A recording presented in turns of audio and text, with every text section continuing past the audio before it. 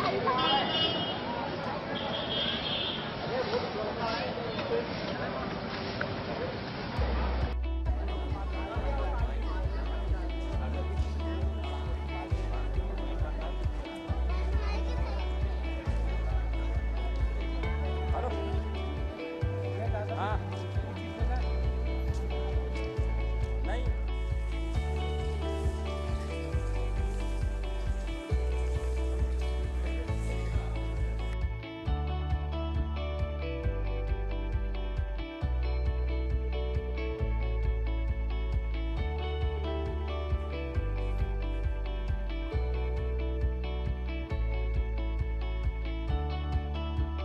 और मुझे यह भी जानकारी लगी कि रेल विभाग के कुछ अधिकारियों का दल तत्संबंध में जाँच करके यहाँ से जा चुका है।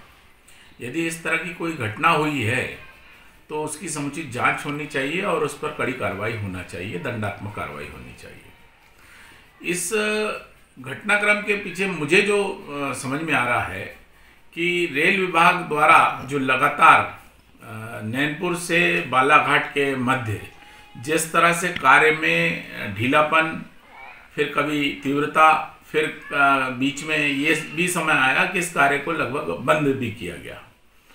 इन कारणों से जो असामाजिक तत्वों की वहाँ गतिविधियाँ थीं उस क्षेत्र में, वो अभी बढ़ती हुई देखी गई। रेल विभाग अगर एक पूरी गति के साथ और तीव्रता के साथ यदि इस कार्य को करता और रेल विभाग और जनप्रतिनिधि पूरी तरह से इस विषय पर गंभीरता से ध्यान देते तो मैं समझता हूँ कि इस तरह के घटनाक्रम सुनाई नहीं देते।